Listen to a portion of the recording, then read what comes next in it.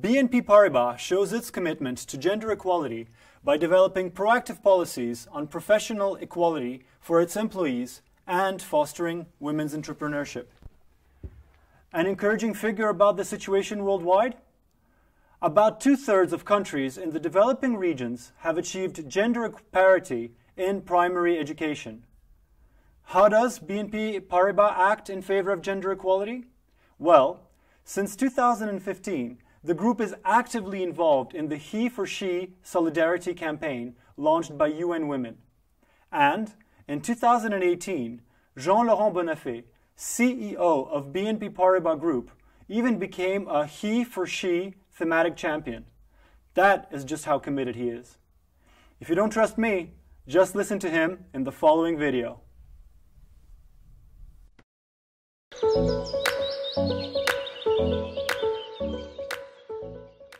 Donc, comme vous le savez, nous sommes une entreprise euh, française et mondiale. Euh, nous travaillons dans 74 pays et nous sommes 192 000 dans le monde, hommes et femmes, 53% de femmes. Donc la mixité pour nous, euh, c'est un sujet évident. C'est une réalité de tous les jours. Donc il y a déjà quelques années, c'était en 2011, on avait rejoint et soutenu au niveau de l'ONU les Women Empowerment Principles. Il y a deux ans, en, 80, en 2015, nous avions euh, rejoint E4She et nous avions nous-mêmes au sein de l'entreprise déployé une campagne interne sur ce thème, puisqu'on ne voit pas la moitié de l'entreprise progresser sans que l'autre moitié euh, progresse également. Donc c'est un sujet pour les hommes et pour les femmes. Et donc ce projet e est exactement euh, ce qu'on peut imaginer de faire pour progresser vis-à-vis de la mixité, qui est une réalité nous concernant. C'est pour ça que nous sommes d'évidence un partenaire de Femmes ONU France.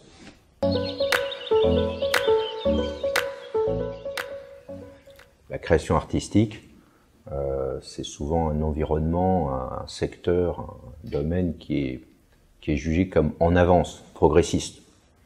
Ceci dit, quand on regarde bien les chiffres, que ce soit les directeurs de théâtre, les directeurs d'institutions musicales, les directeurs d'établissements d'enseignement, euh, à 90%, ce sont des hommes. Ceci étant dit, les arts, leurs enseignements et peut-être plus leurs pratiques ont un rôle en ce sens qu'elles permettent de prendre conscience du rôle des stéréotypes, euh, des biais euh, inconscients, et c'est une bonne façon de travailler.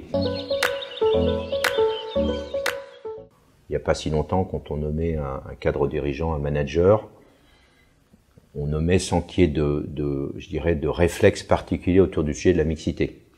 Aujourd'hui, il y a forcément dans les candidats au moins une candidate. On ne peut plus regarder une nomination sur un poste s'il n'y a pas au moins une candidate.